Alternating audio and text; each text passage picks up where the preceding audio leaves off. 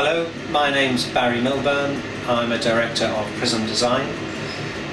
We specialise in titanium jewellery and one of the things we're particularly good at is the colouring of titanium.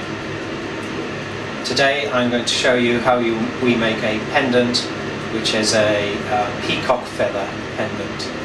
It's anodised and it's the anodising process which produces the colours. The first part of the process is to um, etch the material and what we're doing is we're taking off tiny tiny microscopically thin surface oxide which forms on titanium as soon as it's exposed to oxygen and this is a means of preparing the surface ready for the colouring process later on in the, in, in the stage stages that we go through. So after completing the etching process the piece is flushed in water just to make sure it's perfectly clean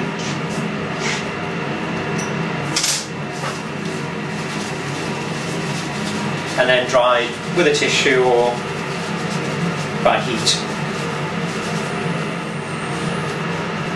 So, a nice clean, perfect surface, pre-etched, untouched by hand, so it's ready for the next stage, which is to apply the pattern of the uh, feather, which we do with a laser engraving machine. Uh, we're in the office now, which is where the laser engraving unit lives. Having chosen the pattern from the software catalogue, this is the pattern that we're going to reproduce on the pendant.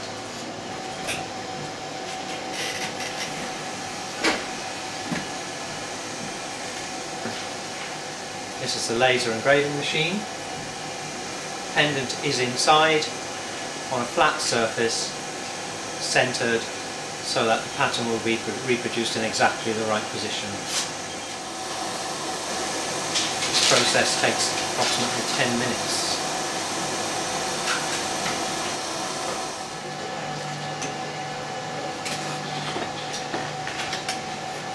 So that's the engraving complete. Pattern is reproduced exactly the pattern shown on the screen. We keep a catalogue of all of the patterns that we use on different designs. The laser produces a, in this case, a black line which will, as you'll see later on, not allow the colour to pass from one side of the line to the other. That's a very important part of this process. It's a masking technique that we use to achieve the colouring. So I'm going to take this down to the workshop next and we'll put a bit of shape into it, add the fitting and then prepare it for the final colouring process. Okay, we're in the workshop. Um, we just want to give the uh, pendant a little bit shape. Um, so we're going to we're going to dome it lightly. It's important that we don't damage the surface at this stage because it's been prepared already.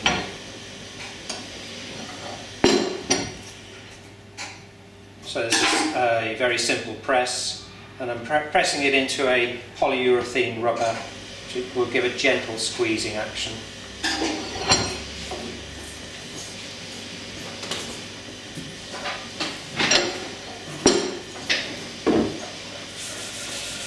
There we are, simple, it's just a simple dome.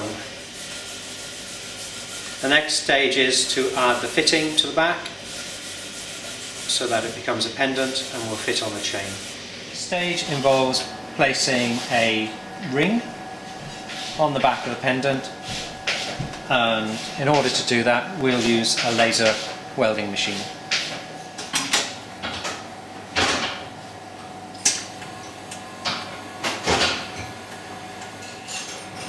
There we are. Fairly quick process. Um, the weld welder sends a pulse to the surface and melts a very specific section of the surface under a gas shielded atmosphere which is perfect for titanium so you get a very strong weld. So that's now ready for colouring. What we will be doing now is applying a voltage through the liquid to the metal. The voltage and the colour we achieve are in direct relationship to one another so I can predict precisely what colour I'm going to get at a certain voltage. In this instance we're going to apply a shaded background to the pendant prior to using a uh, brush in order to send an electric current to specific parts of the feather which is the next stage.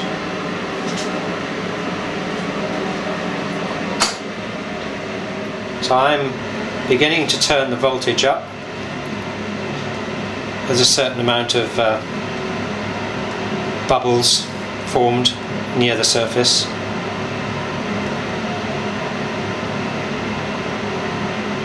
I'll just take it out there so you can see the colour forming.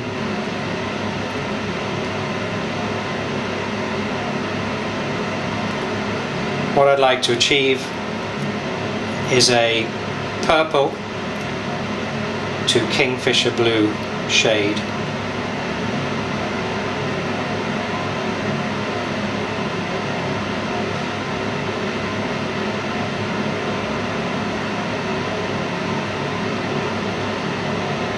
Okay, there we are. Turn the voltage off and flush that in water. And I'll dry that in a clean tissue so you can see it.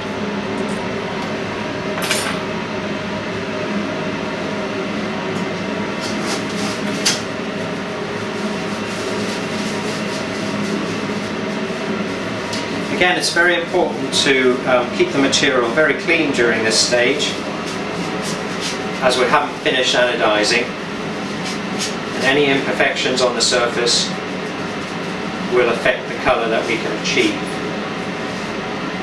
So that's the pendant prior to putting on the detail on the feather.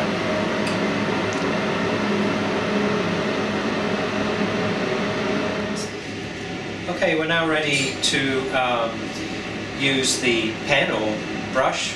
We're sending electric current through the fibre tip onto the metal and uh, the colour will change as I change the voltage and I can literally paint what looks like painting the colour onto the surface. Remember it's not what's happening, I'm simply thickening up the oxide layer.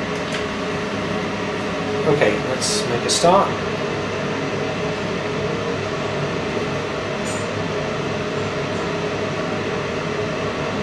As I mentioned earlier, the um,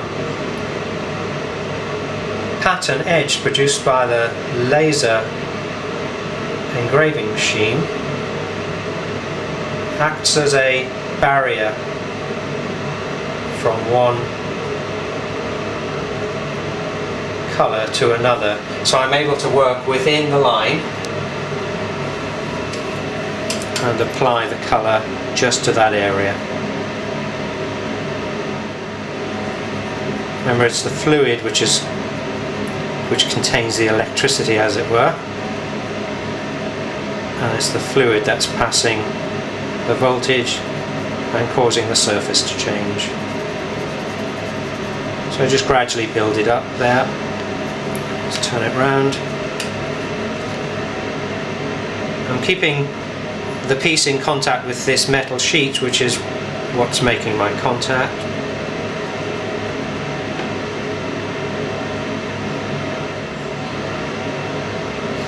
Working from the outer edges of the feather to the inside. Let's get a bit more liquid.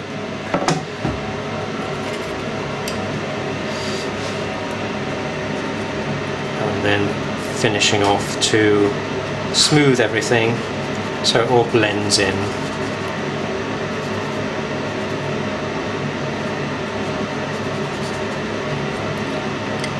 just going to turn the voltage up and apply slightly lighter green to this top edge. Just to make it a bit more dramatic.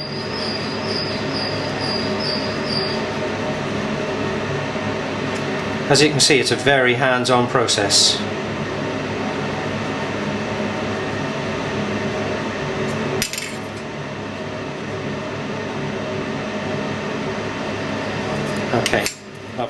I'm going to switch to a different pen now which has a narrower tip and just do the colour in the centre there. See there's a little bit of steam vapour coming off the piece. That's just the fact that the surface is heating up where the voltage is being applied.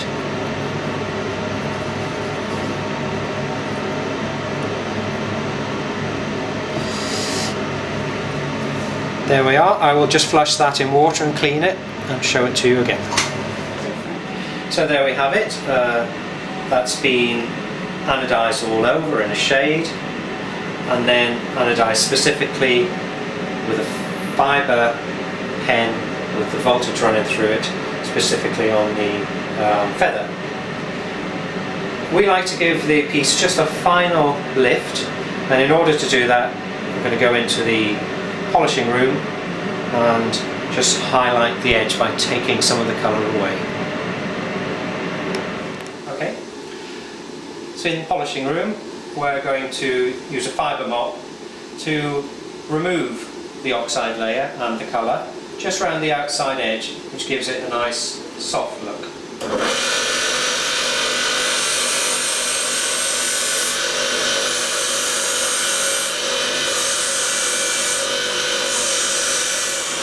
Can see that just has the effect of raise, raising the profile of the piece slightly. Just gives it another dimension